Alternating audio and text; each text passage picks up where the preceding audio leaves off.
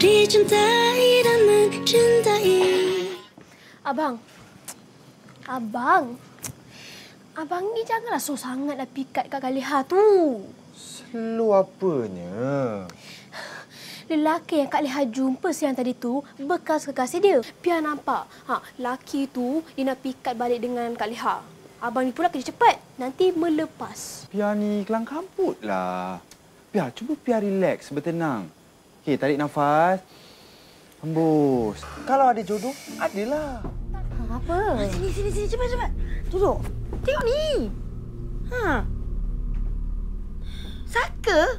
Eh, bila masa pula keluarga kita ni ada saka? Uh, siapa yang pada-pada buat cerita macam ni, ha?